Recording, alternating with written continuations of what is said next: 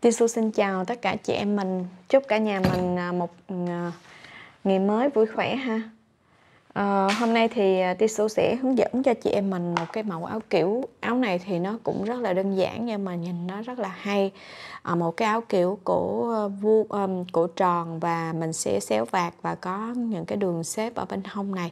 Nó cũng tạo một cái điểm nhấn hay hay. À, Và cổ nó rất là đơn giản và nó tạo được cái sự tinh tế cho người mặc. Cho nên hôm nay mình chia sẻ cùng với các bạn mẫu này nha.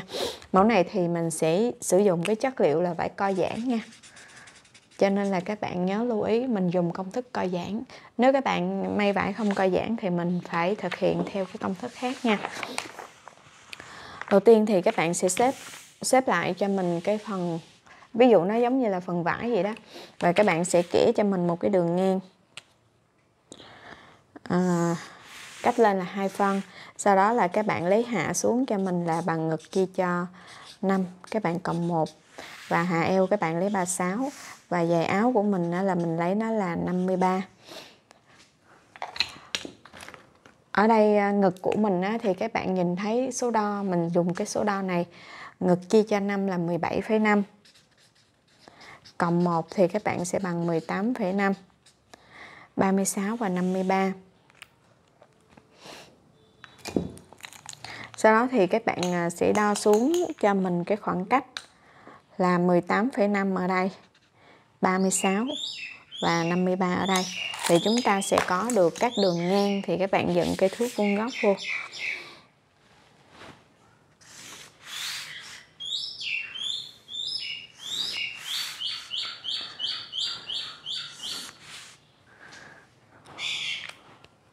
Sau đó thì các bạn sẽ đo cho mình ngang vai.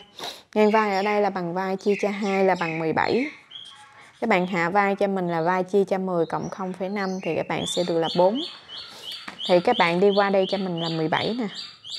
Sau đó là các bạn sẽ đo ngược lại xuống là 4 rồi từ đây là vào cổ thì các bạn lấy cổ chia 5 là bằng 7 các bạn nối vô ha.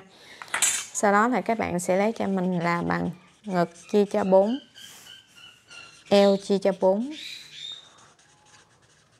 mông chia cho 4 trừ đi cho 1 à, ờ, ngực ở đây á, thì các bạn sẽ lấy chia 4 là nó bằng là 21,5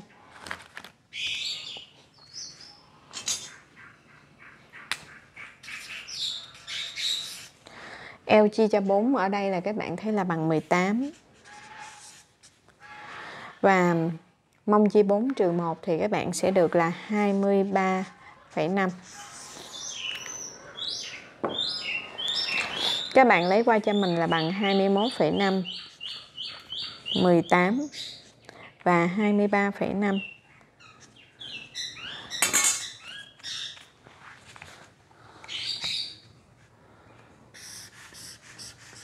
các bạn nối vào. Và cái phần áo này thì các bạn à, chỉ chia cho mình cái này ba phần và các bạn đi góc lát nữa mình sẽ mở rộng ra để mình đi xuống phần lai các bạn dựng một đường vuông góc lùi cho mình hai phân chia làm đôi. Này lùi vào hai phân nè. Sau đó thì các bạn sẽ vẽ cho mình được cái vòng nách áo. Rồi các bạn từ đây các bạn lùi ra cho mình ba phân. À, xuống cho mình cái phần cổ là 9 phân nha. Rồi các bạn đặt cái thứ các bạn vẽ cho mình được cái phần cổ nè. À, chúng ta xong được cái phần thân áo ha. Bây giờ thì mình sẽ cắt cắt nó ra.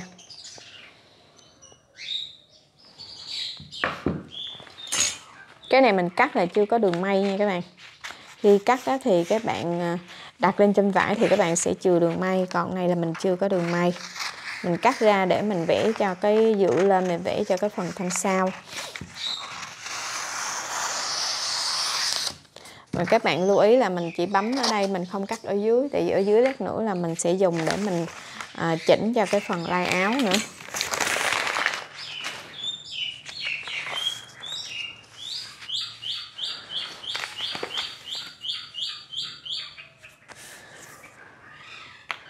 Rồi. À, tiếp theo là mình sẽ ờ,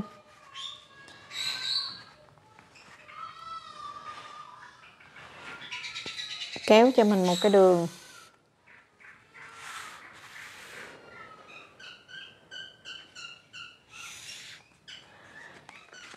Và các bạn kéo cho mình một cái đường lên như thế này ha. Và ở đây các bạn đi ra cái thước cho mình một cái đường chùm vai nè. Và cái phần cổ này á, thì các bạn đặt cái thước vuông góc à, các bạn sẽ đi.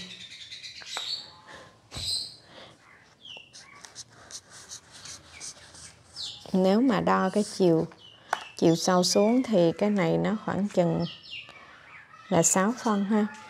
Rồi sau đó thì các bạn sẽ à, đi cho mình vòng nách. Đây là áo thun cho nên là mình uh, chỉ ờ, để bằng như thế này thôi rồi mình sẽ ra ở cái phần hông của thân sau là một phần. Mình eo với ngực mình để bằng. Rồi các bạn đánh dấu qua thì ờ, sau khi mà mình thực hiện xong mình lấy cái phần đập ra thì các bạn sẽ thấy là mình có được cái phần thân sau như thế này.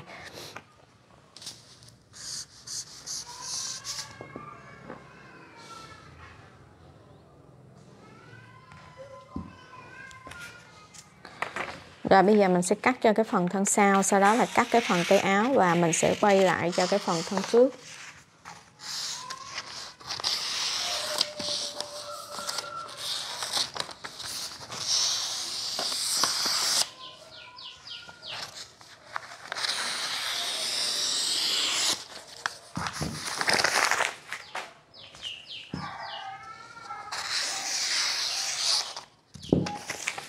Chúng ta có được cái phần thân sau thì các bạn sẽ lấy cái phần thân sau và phần thân trước.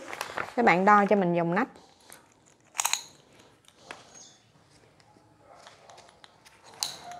Cái này mình đo được là 19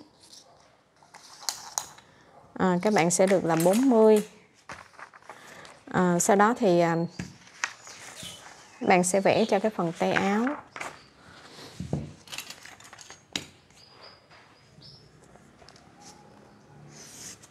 Các bạn sẽ lấy xuống hạ ngực cho mình là bằng ngực, ngực chia cho 10 các bạn cộng cho mình là 5 thì ở đây ngực của mình là bằng 86 là chia 10 là 8,6 các bạn cộng cho 5 thì ở đây gần như là bằng 9 cộng 5 ở à, gần bằng 14 và các bạn đo được cái dòng nách hồi nãy là 40 đúng không? Bạn chia cho 2 thì bạn sẽ được 20 thì hai các bạn sẽ đo xuống ở đây là bằng 14 nè. 14 vô đây và các bạn đi ngang cái thước qua là 20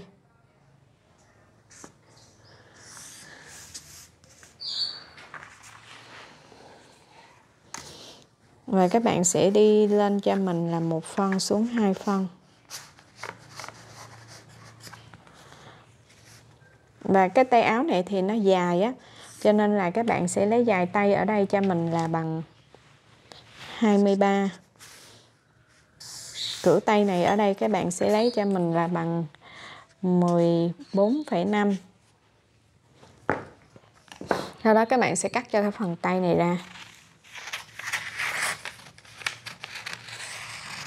Nếu nếu như nha mình nói nếu như mà trong trường hợp cái người mà bắp tay ở đây người ta to nè thì các bạn thu cái này lại các bạn chỉnh cho nó 13 và các bạn mở rộng cái phần tay này ra.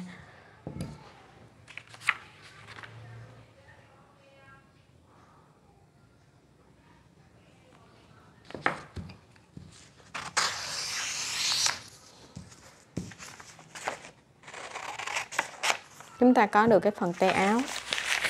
Rồi bây giờ thì mình sẽ à, quay ngược trở ngược lại với lại cái phần thân trước nha các bạn. Đây là phần thân trước mình có nè. Thì các bạn nhìn thấy với cái áo này, phần thân trước họ sẽ rã ra, cho nên là mình sẽ rã cái phần thân trước này.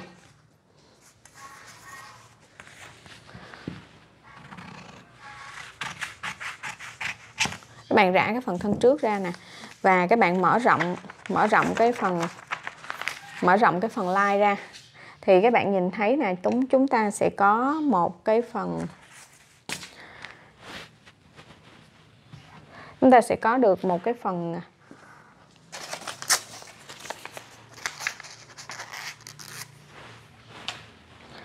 xéo của cái phần like ha. Các bạn sẽ đo cho mình từ trên xuống ngang cái phần like này, các bạn xuống cho mình 15 phân. Đoạn này là 15 phân. Sau đó các bạn chia chia cho mình cái phần lai áo này ra làm một nửa là nó nằm ở đây nè. Thì các bạn sẽ đi xéo cái đường lai thân trước. Và các bạn sẽ đi về cái phần lai uh, của thân bên này ở đây. Thì chúng ta sẽ có được cái phần lai áo thì các bạn cắt cái phần này.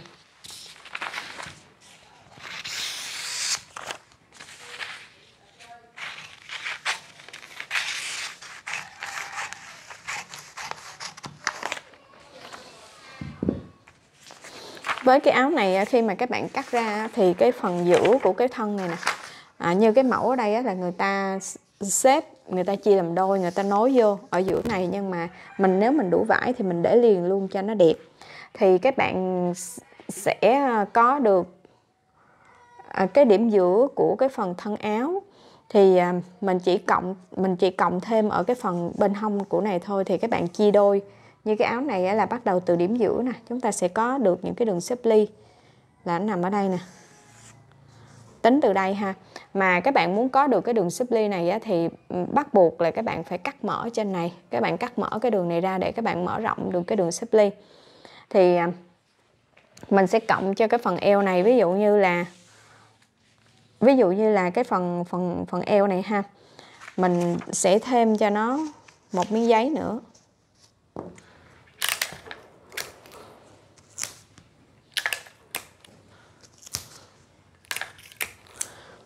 Và cái chỉ riêng cho một bên này thôi nha, chỉ riêng từ cái điểm giữa này nè.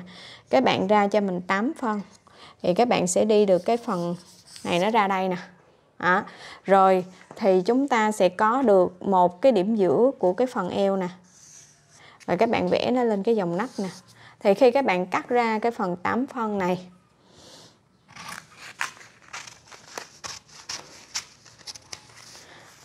các bạn sẽ cắt cái được ờ, được cái đường này nè.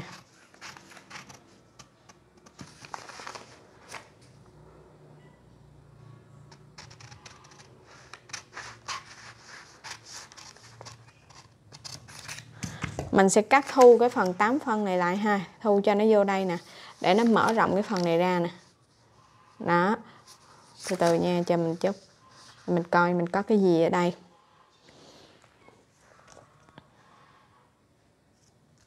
Đúng rồi. Các bạn sẽ xếp lại cho mình ha. Xếp lại, mình mình chỉnh lại lấy 3 phân thôi. Lát nữa mình mở rộng 8 phân thì nó nhìn nó lên cái cái cái xếp ly nó hơi xấu. Các bạn sẽ xếp lại cái này, các bạn mở được cái phần này ra nè. Nha. 3 phân thôi nha các bạn. Phần này mình lấy 3 phân. Sau đó thì các bạn sẽ đi lại cái đường giữa này cho mình rồi các bạn sẽ xếp lại cái phần này các bạn mở rộng cái này ra 3 phân thì cách xếp như vậy khi mình làm á nó chỉ có mỗi công dụng là nó sẽ không bị rộng ở trên cái phần ngực thôi. Còn nếu mà các bạn cắt thẳng từ trên xuống dưới thì khi các bạn xếp á, là nó sẽ bị rộng cái phần đầu ngực. Và cái điểm này nè nó sẽ nằm ngay cái điểm hạ bên ngực nha. Cái điểm đầu bên này thì nó sẽ nằm ngay điểm hạ bên ngực rồi các bạn sẽ có được một đường nè. Thì cái áo này thì nó sẽ xếp ờ, thành hai đường. Thì hồi nãy mình định cắt 8 phân để mình chia nó ra thành này 22 thì bây giờ mình không cắt thành 8 phân mình cắt thành 3 phân. Thì đây mình có được một cái xếp ly 3 phân. Và các bạn sẽ uh, tiếp tục mở ra cho mình thêm một cái xếp ly nữa.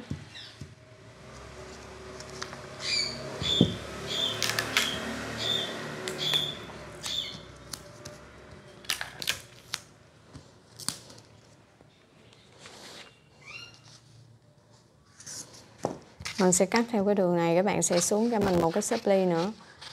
À, chúng ta sẽ có được hai cái xếp ly. Thì với cái phần xếp ly này các bạn sẽ thấy là chúng ta sẽ có được cái xếp ly đầu tiên thì nó nằm ở đây. Các bạn đẩy cái phần này ra các bạn dán này vô. Chuyển chuyển qua để nó có được đúng cái điểm mà chúng ta muốn xếp ly. Và các bạn sẽ có được cái xếp ly thứ hai là ngay trên dòng nách. Thì khi các bạn mở rộng ra được như thế này rồi thì các bạn cũng sẽ lấy cái điểm mở rộng ra cho mình. Các bạn sẽ cắt cắt cái phần thân. Bạn có được cái mở rộng thứ nhất. Rồi các bạn sẽ có được cái mở rộng thứ hai. Cho cái phần thân ở bên dưới là eo đó. Là các bạn mở rộng ra được. Thì chúng ta sẽ có được như thế này. Thì khi các bạn cắt thì các bạn cắt chừa cái đường may cho đường trên đường dưới và chúng ta hoàn tất được cho cái mẫu áo này. Thì đây là một cái mẫu ờ, rất là dễ làm và à, nó sẽ tạo được cái dáng rất là đẹp duyên dáng cho người mặc. Thì chúc các bạn thành công với mẫu nha. Cảm ơn các bạn đã xem và dành thời gian nhớ bấm like ủng hộ mình. Ờ, chúc các bạn cuối tuần vui vẻ. Xin chào và hẹn gặp lại.